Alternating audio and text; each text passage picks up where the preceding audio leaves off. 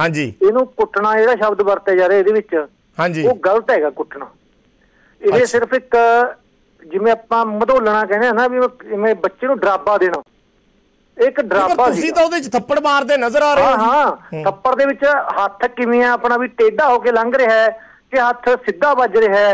ਇਹ ਚੀਜ਼ਾਂ ਬੜੀਆਂ ਮੈਟਰ ਕਰਦੀਆਂ ਨੇ।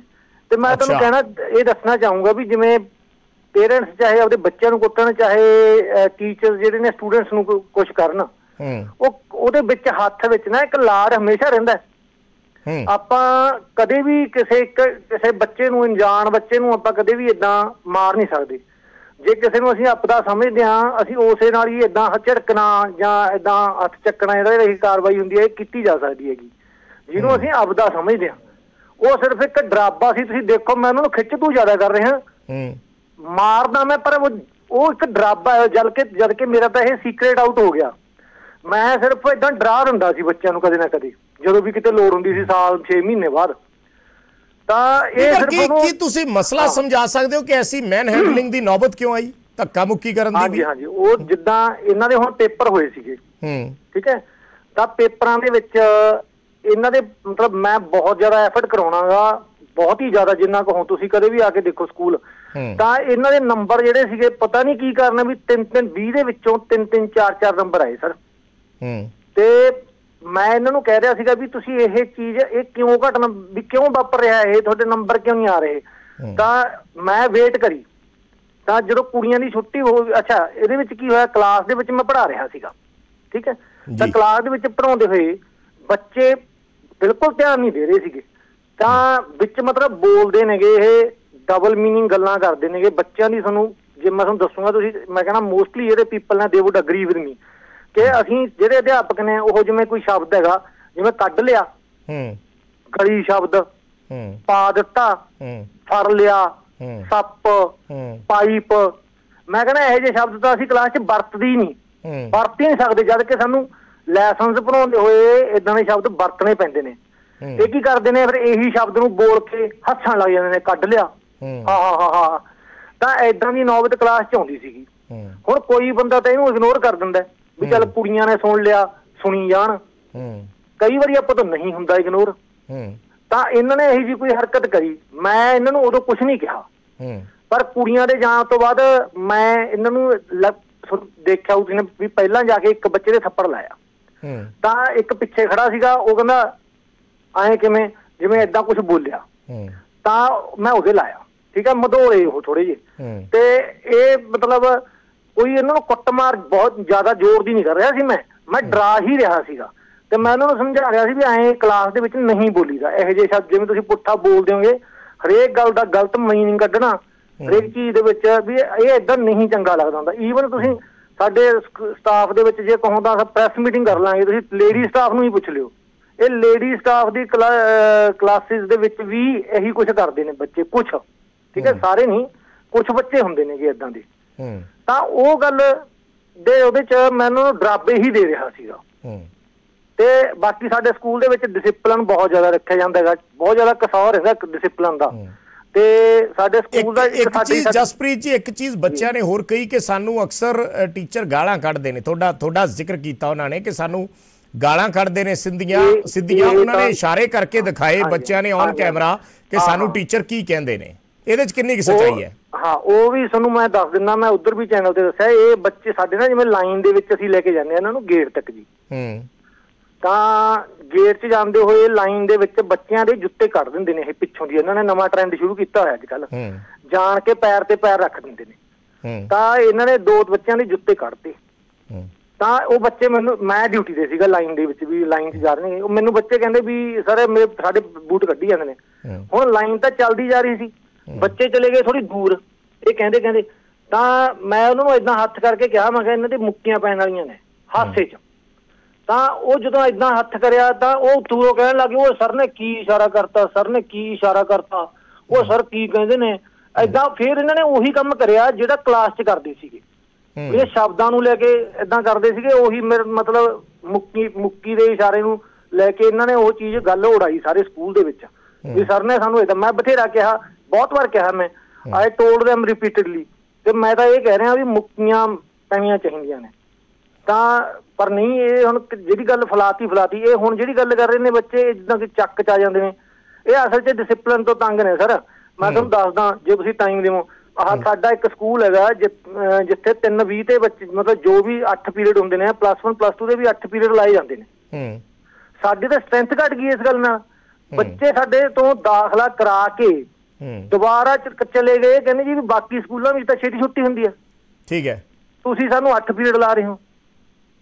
ਮਤਲਬ ਸਿਰਫ ਡਿਸਪਲਿਨ ਥੋੜਾ ਬਹੁਤ ਜਿਹੜਾ ਅਸੀਂ ਮੇਨਟੇਨ ਕਰਕੇ ਰੱਖਦੇ ਆਂਗੇ ਸਕੂਲ ਦੇ ਵਿੱਚ ਹੂੰ। ਉਹਦੇ ਐਂਟੀ ਹੋ ਕੇ ਇਹਨਾਂ ਨੇ ਇਹ ਚੀਜ਼ ਜਿਹੜੀ ਹੈ ਮਤਲਬ ਇੱਕ ਪੈਦਾ ਕਰੀ ਹੈਗੀ। ਇਹ ਕੋਈ ਕੁੱਟਮਾਰ ਦੀ ਗੱਲ ਨਹੀਂ ਸੀ ਸਿਰਫ ਇੱਕ ਮਦੋਲਣ ਜਿਵੇਂ ਕਹਿ ਲਓ ਜਾਂ ਜਾਂ ਵੀ ਡਰਾਬੇ ਦੀ ਗੱਲ ਸੀ ਤੇ ਤੁਸੀਂ ਆਪ ਦੱਸ ਜਿ-। ਜਿੰਨਾ ਵੀ ਹੋਇਆ ਤੁਸੀਂ ਉਸ ਨੂੰ ਜਾਇਜ਼ ਸਮਝਦੇ ਹੋ। ਨਹੀਂ। ਹੂੰ। ਜਾਇਜ਼ ਨਾਜਾਇਜ਼ ਨੂੰ ਜਿਹੜਾ ਪਰਖਣੇਗਾ ਉਹ ਨਹੀਂ ਚਲੋ ਤੁਹਾਡੀ ਗੱਲ ਤੋਂ ਤਾਂ ਇਦਾਂ ਹੀ ਲੱਗ ਰਿਹਾ ਵੀ ਮੈਂ ਤਾਂ ਕੁਝ ਨਹੀਂ ਕੀਤਾ ਇੰਨਾ ਕਿਤੇ ਚੱਲਦਾ ਹੀ ਹੈ। ਇਹੀ ਕਹਿਣਾ ਚਾਹ ਰਹੇ? ਉਵੇਂ ਦੀ ਗੱਲ ਨਹੀਂ ਕਰ ਰਿਹਾ ਮੈਂ। ਹੂੰ। ਉਵੇਂ ਦੀ ਗੱਲ ਨਹੀਂ ਕਰ ਰਿਹਾ। ਮੈਂ ਸਿਰਫ ਇਹ ਕਹਿ ਰਿਹਾਗਾ ਵੀ ਅਧਿਆਪਕ ਕੋਲੇ ਅਸੀਂ ਵੀ ਚਾਹੁੰਦੇ ਹਾਂ ਵੀ ਹਰੇਕ ਬੱਚਾ ਜਿਹੜਾਗਾ ਵੀ ਕਿਸੇ ਤਰੀਕੇ ਨਾਲ ਕੰਟਰੋਲ ਕਰਿਆ ਜਾਵੇ। ਕੋਈ ਬੱਚਾ ਪਿਆਰ ਨਾਲ ਕੰਟਰੋਲ ਹੋ ਜਾਂਦਾ ਹੈਗਾ। ਆਪਾਂ ਪਿਆਰ ਨਾਲ ਸਮਝਾਇਆ ਕੰਟਰੋਲ ਹੋ ਗਿਆ। ਕਿਸੇ ਬੱਚੇ ਨੂੰ ਆਪਾਂ ਜ਼ਿੰਮੇਵਾਰੀ ਦਾ ਅਹਿਸਾਸ ਕਰ- ਅਹਿਸਾਸ ਕਰਾਇਆ। ਹਨਾ ਵੀ ਬੇਟਾ ਤੇਰੀ ਜ਼ਿੰਮੇਵਾਰੀ ਬਣਦੀ ਆ ਤੇਰੇ ਪੇਰੈਂਟਸ ਨੇ ਦੇਖ ਤੇਰੇ ਲਈ ਕੀ ਕੁਝ ਕਰਦੇ ਨੇਗੇ। ਜੀ। ਤੇ ਈਵਨ ਬੱਚਿਆਂ ਕੋਲੇ ਮਤਲਬ ਬੱਚਿਆਂ ਕੋਲੇ ਫੀਸ ਤੱਕ ਲਈ ਪੈਸੇ ਨਹੀਂ ਹੁੰਦੇ। ਵੀ ਤੇਰੇ ਪੇਰੈਂਟਸ ਦੇਖ ਤੂੰ ਵੀ ਕਿੱਦਾਂ ਮਤਲਬ ਦਿਹਾੜੀ ਕਰਕੇ ਤੇਰੀ ਫੀਸ ਵਗੈਰਾ ਭਰਦੇ ਨੇਗੇ। ਕਿਉਂਕਿ ਫੀਸ ਜਿਹੜੀ 9ਵੀਂ ਤੋਂ 12ਵੀਂ ਤੱਕ ਤਾਂ ਫੀਸ ਹੁੰਦੀ ਹੈ ਹੁੰਦੀ ਚਾਹੇ ਥੋੜੀ ਹੈ 50 ਕੁ ਰੁਪਏ ਮਹੀਨਾ। ਪਰ ਉਹ ਵੀ ਬੱਚੇ ਬੜੀ ਮੁਸ਼ਕਿਲ ਨਾਲ ਲਿਆ ਕੇ ਦਿੰਦੇ ਨੇ। ਤੇ ਮੈਨੂੰ ਤਾਂ ਇਹ ਵੀ ਲੱਗਦਾ ਹੈਗਾ ਕਿ ਜੇ ਹੁਣ 8ਵੀਂ ਤੱਕ ਫੀਸ ਮਾਫ ਹੈ ਤਾਂ ਸਾਰੀ ਟੋਟਲੀ 12ਵੀਂ ਤੱਕ ਹੀ ਫੀਸ ਮਾਫ ਕਰ ਦੇਣੀ ਚਾਹੀਦੀ ਹੈ ਕਿਉਂਕਿ ਸਾਡੀ ਇੱਕ ਇੱਕ। ਵੱਖਰੀ ਗੱਲ ਹੈ ਮੈਂ ਮੈਂ ਮੈਂ। ਤੁਹਾਨੂੰ ਦੇਖੋ ਮੈਂ ਤੁਹਾਨੂੰ ਉੱਥੇ ਆ ਰਿਹਾ, ਮੈਂ ਜਿਹੜੀਆਂ ਵੀ ਚੀਜ਼ਾਂ ਮੈਂ ਨੇ ਵਾਪਸ ਆ ਰਿਹਾ। ਕਾਨੂੰਨ ਹਾਂਜੀ। ਤੌਰ ਤੇ ਦੇਖੀਆਂ ਜਾਂਦੀਆਂ ਨੇ ਜਦੋਂ ਵੀਡੀਓ ਸਾਹਮਣੇ ਆ ਜੇ ਤੁਸੀਂ ਤੁਹਾਡੀ ਜਸਟੀਫਿਕੇਸ਼ਨ ਜਿੰਨੀ ਮਰਜ਼ੀ ਹੋਵੇ ਜਦ ਜਿਹੜੀ ਤੁਹਾਡੀ ਵੀਡੀਓ ਤੁਸੀਂ ਉਹਨੂੰ ਕਹੋ ਕਿ ਮੈਂ ਕੁੱਟਿਆ ਨਹੀਂ ਮਧੋਲਿਆ ਸੀ ਜਾਂ ਮੈਂ ਮਾੜਾ ਜਿਹਾ ਖਿੱਚਿਆ ਸੀ ਮੈਂ ਜਮਾ ਵਾਲ ਪੱਟੇ ਸੀ ਜਾਂ ਥੱਪੜ ਦੂਰੋਂ ਘੁਮਾਤਾ ਵਾਲ ਵੂਲ ਉਹਦੇ- ਪੱਟਣਾ ਹੀ ਤਾਂ- ਵੀ- ਵੀਡੀਓ ਦੇ ਵਿੱਚ ਜਿਹੜੀ ਚੀਜ਼ ਨਜ਼ਰ ਆਉਂਦੀ ਹੈ ਤੁਸੀਂ ਉਹਨੂੰ ਕਿਵੇਂ ਜਸਟੀਫਾਈ ਕਰੋਗੇ ਜਿਹੜੀ ਚੀਜ਼ ਕਾਨੂੰਨਨ ਗਲਤ ਹੈ ਸਿਰ ਤੇ ਹੱਥ ਹੈ। ਜੀ। ਫੇਰ ਰਿਹਾ ਫਿਰ ਰਿਹਾ ਹੱਥ ਸਿਰ ਤੇ। ਉਹਦਾ ਸਿਰ ਉਹ ਥੱਲੇ ਕਰੀ ਖੜਾਗਾ ਤਾਂ ਮੈਂ ਉਹਨੂੰ ਉੱਪਰ ਚੱਕ ਕੇ ਕਹਿ ਰਿਹਾ ਗੱਲ ਸੁਣ ਗੱਲ ਸੁਣ। ਤਾਂ ਉਹਨੂੰ ਹੁਣ ਇਹਨਾਂ ਨੇ ਬਣਾਤਾ ਵੀ ਵਾਲ ਪੱਟ ਰਿਹਾ। ਹੂੰ। ਕੀ ਉਹਦੇ ਵਿੱਚ ਐਂ ਦਿਖ ਰਿਹਾ ਵੀ ਮੈਂ ਖਿੱਚ ਖਿੱਚ ਕੇ ਉਹਨੂੰ ਵਾਲਾਂ ਤੋਂ ਫੜ ਕੇ ਸਿੱਟ ਲਿਆ ਜਾਂ ਕੀ ਅੱਛਾ ਚਲੋ ਛੱਡੋ। ਕੀ ਕਿਸੇ ਬੱਚੇ ਦੇ ਦੰਦ ਨਿਕਲ ਗਏ? ਕੀ ਕਿਸੇ ਬੱਚੇ ਨੂੰ ਉਲਟੀਆਂ ਲੱਗੀਆਂ ਨੇ? ਕੀ ਕਿਸੇ ਬੱਚੇ ਨੂੰ ਚੱਕਰ ਆਇਆ? ਕਿਸੇ ਬੱਚੇ ਦਾ ਕੁਝ ਹੋਇਆ? ਨਹੀਂ ਪਰ ਇਹ ਕੋਈ ਤਰਕ ਥੋੜੀ ਹੈ ਜੀ। ਇਹ ਕੋਈ ਤਰਕ ਥੋੜੀ ਹੈ ਵੀ ਕਿਸੇ ਨੂੰ ਕੁਝ ਨਹੀਂ ਹੋਇਆ ਤਾਂ ਇਹਦਾ ਮਤਲਬ ਤੁਸੀਂ। ਕੁਝ ਵੀ ਮਤਲਬ ਤੁਸੀਂ ਉਡੀਕ ਕਰਦੇ ਸੀ ਇਸ ਚੀਜ਼ ਦੀ ਕਿ ਕਿਸੇ ਨੂੰ ਚੱਕਰ ਆਵੇ ਜਾਂ ਕਿਸੇ ਦੇ ਸੱਟ ਵੱਜੇ। ਨਹੀਂ ਸਰ ਦੇਖੋ ਪਲੀਜ਼ ਇਦਾਂ ਮੇਰੇ ਨਾ ਉਹ ਨਾ ਕਰੋ ਵੀ ਐਂ ਗੱਲਾਂ ਨਾ ਮੇਰੇ ਮੂੰਹ 'ਚ ਪਾ ਮੈਂ ਨਹੀਂ ਕਰ ਰਿਹਾ ਸੀ ਇਦਾਂ ਹੂੰ। ਮੈਂ ਸਿਰਫ ਇੱਕ ਡਰਾਮਾ ਨਹੀਂ ਪਰ ਤੁਹਾਡੀ। ਗੱਲ ਤੋਂ ਤਾਂ ਇਦਾਂ ਲੱਗਦਾ ਕਿ ਤੁਸੀਂ ਇਸ ਪੂਰੇ ਐਕਟ ਨੂੰ ਜਸਟੀਫਾਈ ਕਰ ਰਹੇ ਹੋ। ਮੈਂ ਮੈਂ ਤਾਂ ਤੁਹਾਨੂੰ ਸਿਰਫ ਇਹ। ਪੁੱਛਣਾ ਚਾਹ ਰਿਹਾ।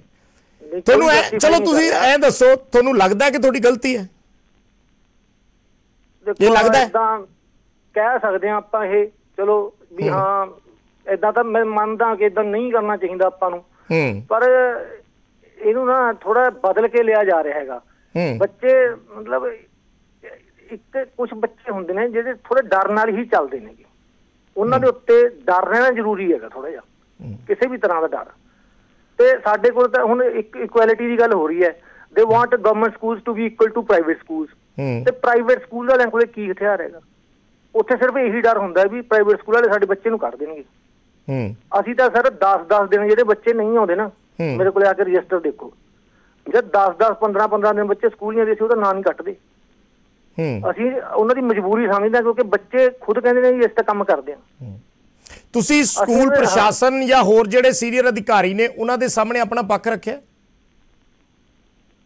ਉਹਨਾਂ ਨੇ ਤੁਸੀਂ ਇਸ ਵੀਡੀਓ ਦੀ ਕਲੈਰੀਫਿਕੇਸ਼ਨ ਦਿੱਤੀ ਹੈ ਕਿ ਮੈਂ ਤਾਂ ਜੀ ਸਿਰਫ ਉਹਨਾਂ ਨੂੰ ਮਦੋਲ ਰਿਹਾ ਸੀ। ਸੂਝਵਾਨ ਜਿਹੜੇ ਸਾਡੇ ਪ੍ਰਿੰਸੀਪਲ ਨੇਗੇ ਮਤਲਬ ਉਹਨਾਂ ਨਾਲ ਮੇਰੀ ਗੱਲ ਹੋਈ ਆ ਉਹਨਾਂ ਨੇ ਜਦੋਂ ਇਹ ਪਿੰਡ ਵਾਲੇ ਆਏ ਤਾਂ ਉਹ ਤੋਂ ਪਹਿਲਾਂ ਹੀ ਉਹਨਾਂ ਨੇ ਮੇਰੇ ਨਾਲ ਫੋਨ ਤੇ ਗੱਲ ਕਰੀ ਸੀਗੀ। ਜੀ। ਤਾਂ ਮੈਂ ਉਹਨਾਂ ਨੂੰ ਵੀ ਕਿਹਾ ਮੈਂ ਵੀ ਕਿ ਇਹ ਮੈਡਮ ਵੀ ਨਹੀਂ ਮੈਂ ਸਿਰਫ ਇਹਨਾਂ ਨੂੰ ਡਰਾ ਰਿਹਾ ਸੀਗਾ। ਮੈਂ ਕਿਸੇ ਦੇ ਜ਼ੋਰ ਦੀ ਨਹੀਂ ਮਾਰਿਆ ਹੈਗਾ ਇਹ ਐਵੇਂ ਲੱਗ ਰਿਹਾ ਇਹਦੇ ਵਿੱਚ। ਵੀ ਮੈਂ ਸਿਰਫ ਆਪਣਾ ਡਰਾਮਾ ਹੀ ਕਰ ਰਿਹਾ ਸੀਗਾ ਇਹਨਾਂ ਨਾਲ। ਤੇ ਉਸ ਤੋਂ ਬਾਅਦ ਹੋਰ ਵੀ ਮੈਨੂੰ ਅਧਿਕਾਰੀਆਂ ਦੇ ਫੋਨ ਆਏ ਨੇਗੇ ਉਹਨਾਂ ਨਾਲ ਵੀ ਮਤਲਬ ਮੈਂ ਕੋਸ਼ਿਸ਼ ਕਰੀ ਹੈਗੀ। ਵੀ ਹਾਂ ਮੈਂ ਥੋੜਾ ਜਸਟੀਫਾਈ ਕਰ ਸਕਾਂ ਆਪਦੇ ਆਪ ਚਲੋ। ਤੁਸੀਂ ਆਪਣੀ ਗੱਲ ਕਹਿਤੀ ਮੈਂ ਮੈਂ ਤੁਹਾਨੂੰ ਇੱਕ ਇਨ ਜਨਰਲ ਸਵਾਲ ਪੁੱਛਦਾ ਐਜ਼ ਅ ਟੀਚਰ ਕਿ ਕਿ ਤੁਸੀਂ ਸਮਝਦੇ ਹੋ ਕਿ ਜੇ ਬੱਚੇ ਨਾਲ ਸਖਤੀ ਕਰਨੀ ਹੈ ਤਾਂ ਉਸ ਨਾਲ ਉਹ ਸਖਤੀ ਸਿਰਫ ਕੁੱਟ ਕੇ ਕੀਤੀ ਜਾ ਸਕਦੀ ਹੈ? ਨਹੀਂ ਨਹੀਂ ਚਲੋ ਇਹ ਤਾਂ ਗੱਲ ਠੀਕ ਹੈ। ਜੀ। ਇਹ ਮੈਂ ਤੁਹਾਨੂੰ ਵੀ ਇਹ ਪੁੱਛਣਾ ਚਾਹਣਾ ਜਾਂ ਹੋਰ ਵੀ ਜਿੰਨੇ ਵੀ ਸੁਣ ਰਹੇ ਨੇ ਹੂੰ। ਵੀ ਕੀ ਕੀਤਾ ਜਾਣਾ ਚਾਹੀਦਾ ਹੋਰ ਦੱਸੋ? ਬੱਚੇ ਨੂੰ ਕੰਟਰੋਲ ਕਰਨ ਲਈ ਜਿਹੜਾ ਬੱਚਾ ਪਿਆਰ ਨਾਲ ਸਮਝਾਉਣ ਨਾਲ ਕੰਟਰੋਲ ਨਹੀਂ ਹੋ ਰਿਹਾ। ਜਿਹੜਾ ਬੱਚਾ ਸਾਨੂੰ ਲੱਗ ਰਿਹਾ ਵੀ ਇਹ ਬਾਹਰੋਂ ਕਿਸੇ ਗਲਤ ਸੰਗਤ 'ਚ ਹੈ ਵੀ ਇਹ ਜਿਵੇਂ ਬੱਚੇ ਦੇ ਵਿੱਚ ਤੁਸੀਂ ਤੁਸੀਂ ਇਹ ਸਾਰੀਆਂ ਗੱਲਾਂ ਪੇਰੈਂਟਸ ਟੀਚਰ ਮੀਟਿੰਗ ਦੇ ਦੌਰਾਨ ਉਹਨਾਂ ਦੇ ਮਾਪਿਆਂ ਨੂੰ ਦੱਸੀਆਂ ਸੀ? ਜੀ ਆ ਬਹੁਤ ਵਧੀਆ ਗੱਲ ਕਰੀ ਹੈ ਤੁਸੀਂ। ਆ ਤੁਸੀਂ ਬਹੁਤ ਵਧੀਆ ਗੱਲ ਕਰੀ ਹੈ ਜੀ ਪੇਰੈਂਟਸ ਦੀ ਗੱਲ ਕਰੀ ਹੂੰ। ਤੇ ਹੁਣ ਅਸੀਂ ਪੇਰੈਂਟਸ ਨਾਲ ਗੱਲ ਕਰਨ ਦੀ ਕੋਸ਼ਿਸ਼ ਕਰਦੇ ਹੂੰ ਠੀਕ ਹੈ? ਪੇਰੈਂਟਸ ਨਾਲ ਗੱਲ ਕਰਨ ਦੀ ਕੋਸ਼ਿਸ਼ ਕਰਦੇ ਹਾਂ। ਪਹਿਲਾਂ ਤਾਂ ਇਹ ਸਾਨੂੰ ਸਹੀ ਨੰਬਰ ਨਹੀਂ ਦਿੰਦੇ। ਠੀਕ ਹੈ? ਨੰਬਰ ਉਹ ਮਿਲੂਗਾ ਜਿਹੜਾ ਇਹਨਾਂ ਦਾ ਆਪਦਾ ਹੋਊਗਾ ਅਸੀਂ ਮਲਾਈ ਜਾਵਾਂਗੇ ਉਹ ਚੱਕਦੇ ਨਹੀਂ। ਠੀਕ ਹੈ। ਉਸ ਤੋਂ ਬਾਅਦ ਜਦੋਂ ਜੇ ਕਿਸੇ ਦਾ ਮਿਲ ਜਾਂਦਾ ਉਹ ਕਹਿੰਦੇ ਨੇ ਜੀ ਵੀ ਫੋਨ ਘਰੇ ਪਿਆ ਹੈਗਾ ਡੈਡੀ ਇਹਦਾ ਦਿਹਾੜੀ ਤੇ ਗਿਆ ਹੈਗਾ। ਮੈਂ ਤਾਂ ਉਹਦੀ ਸਿਸਟਰ ਬੋਲਦੀ ਹਾਂ। ਜੇ ਐਦਾਂ ਨਹੀਂ ਹੋਊਗਾ ਮੰਨ ਲਓ ਅਸੀਂ ਨੇ ਬੁਲਾਇਆ ਹਨਾ? ਮੰਨ ਲਓ ਕੋਈ ਪੇਰੈਂਟਸ ਦਾ ਫੋਨ ਮਿਲ ਗਿਆ ਉਹ ਸਕੂਲ ਆ ਗਿਆ। ਉਹ ਪਤਾ ਕਿ ਕੀ ਕਹਿ ਕੇ ਜਾਂਦਾ ਜੀ। ਉਹਨਾਂ ਕੋਲੇ ਇੱਕ ਰਟਿਆ ਰਟਾਇਆ ਉੱਤਰ ਹੁੰਦਾ ਹੈ, ਸਾਡੇ ਤਾਂ ਇਹ ਬਸ 'ਚ ਨਹੀਂ ਹੈਗਾ।